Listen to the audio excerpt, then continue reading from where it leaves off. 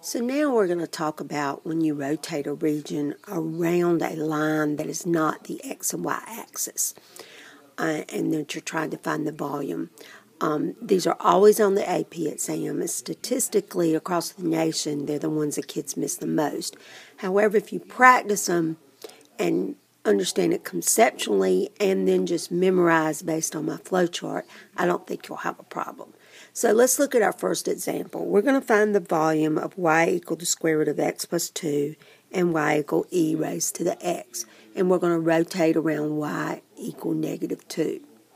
So we're going to graph and find the intersection points. And I'm going to do it in the calculator in a minute so I can show you, but I sketched it here so we can talk about it. So when you graph this, square root of x plus 2 is going to look like this. And the function e to the x is going to do this. And they're going to intersect in two points. And I'm calling them a and b. And when you use your intersecting feature of your calculator, they're going to be long, ugly ones. And most of these type are obviously on the calculator active. And so I'm going to show you how to store it in the calculator. It'll be easier to use. So let's talk about the radius. So remember we find the radius from going from the curve to the axis, but we're not rotating around the x-axis. We're rotating around this line down here, x equal negative 2. So the radius is going to go from the curve all the way down and from the bottom curve all the way down. So we are going to be adding this length. This length is 2. So whenever it's below your region, you are adding whatever the value is. So now if we're rotating this way, our top curve is going to be the square root of x plus 2, and our bottom curve is going to be what? e to the x. So we're going to set it up pi. Uh, we're going to use the x numbers, and we're going to go from a to b. So I have here, and I've got the square root of x plus 2 plus 2 for this distance squared minus e to the x squared dx. And here's your answer. And I'm going to show it to you in the calculator. So remember, if it's below your region, you are adding. So I'm going to put my two curves in, square root of x plus 2 and e to the x, and we're going to graph. And the square root's going to be in blue, e to the x is going to be in red.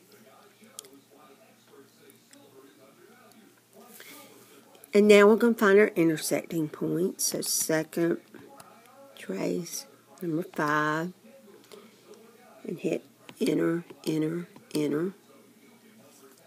And you see our x coordinate and our y coordinate. And now we're going to do second 5, intersect. I'm going to move my cursor here enter, enter, enter. I moved it too far. Enter, enter, enter. And there's our second points, which you see on your pass out. So, let's talk about how we store. So, you're going to type the number that you want first. So I'm going to type the lower bound. So I'm going to type the x coordinate of the lower bound, negative 1.980974. Then you hit your store button, which was is STO below your LN button on the left. And it makes that little arrow. And then you pick your alpha. So you hit alpha, and I'm going to hit A, which is on the math button, and hit enter. So that's going to store that. Now I'm going to hit my next x coordinate, so it'd be 0.4475, 4216. Hit my store button, alpha, and I'm going to do B and hit enter.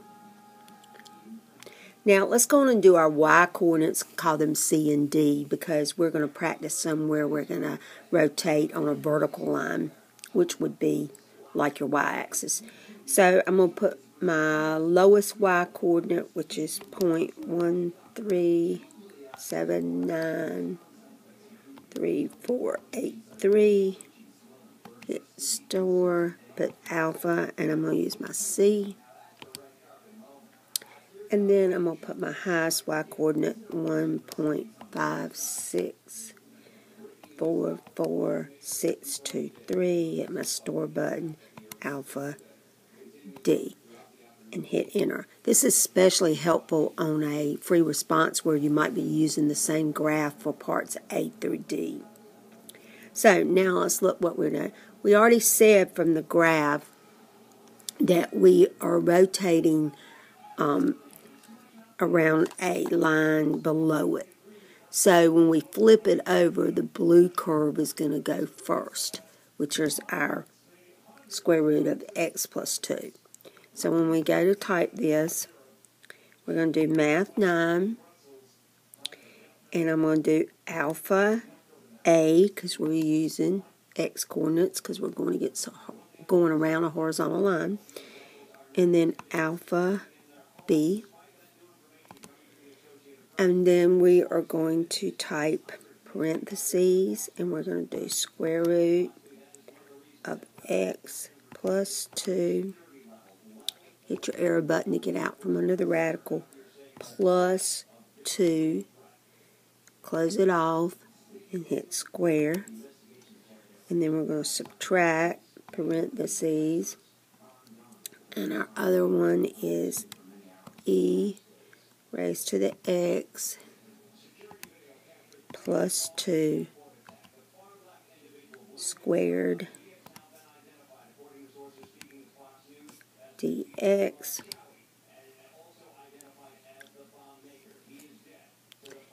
And we are going to get 6.279 pi and we can times that by pi depending on how your answer is and you'll get 19.725. So now we're going to talk about if we take the same functions uh, with the same intersection points, but this time we're going to rotate a line above the region. So we're going to rotate around y equal 2. So I've got the sketch here, and you see that the y equal 2 is above the line. So there's a couple of things that we have to think about when we do this. If you're talking about your radius, remember your radius, you go from the axis to the function, but then we have to go all the way up to the line. And here we go, axis to the function and all the way up the line. So what we're going to do is we're going to take this distance, which is 2, and subtract out the function distance, and that'll give us the distance from the function to the line that we want to rotate. So that'll be our radius. So again, you're going to take the whole 2, subtract out the part to the function, and then that'll leave you the part from the function to the line we want to rotate, which will be your radius. So it's probably easier just to look at the flow chart and memorize. If it's above, you're going to take whatever your line you're rotating and subtract out the function. The other important thing is we're going up and around. So we have to switch what's top and bottom because if you're moving and rotating this way, then this becomes your top curve. It's going to go first and then this will follow. So when I set up my integral, I'm going to have pi b to a that we have, well, really, that should be a to b. Sorry, I got that written wrong. So that'll be a to b. And then we're going to have, remember, we're switch what's top. So we're going to have 2 minus e to the x squared minus 2 minus the square root of x plus 2 squared. And you will get your answer here. So remember if it's above whatever the function line is and then subtract out your function to get your proper radius. So now we're going to use the same function, same intersection points, but we're going to rotate to the left of the region. We're going to rotate around x equal negative 3. So again, I have my sketch, and we're going to use the y coordinates because we're going to be rotating around a vertical line which is similar to the y-axis. And the line is to the left. So we've already stored these in our C and D. Now, remember when we're going around a vertical line, the y-axis, we have to switch and get x, I mean, yes, x equal equations and use y bounds. So here we have y equal the square root of x plus 2. I'm going to square and solve, and so I get y squared minus 2 equal x. the way we solve this one for x, we take the ln of both sides, and then ln of e cancel out, so you get ln of y equal x. Then the other thing you have to remember, you go from right to left. So you have to look at these curves, see which is your right curve if you're going that way, and which is your left curve. And the furthest curve, the right curve, would be your e to the x, which is your ln of y. So, if we're getting our radius, remember we're going from the curve to the axis and then over to that line. So just like before, if it's to the left, we're going to add because our radius is coming from here all the way over. So we're going to add that to what the difference from our curve to our axis. Again, if you look at your flow chart and just memorize, if it's to the left, you're going to add. So we're going to come down here and use C and D that you already have stored, ln of y plus 3 squared minus y squared minus 2 plus 3 squared dy. So again, you're going around a vertical line, so you have to use y bounds.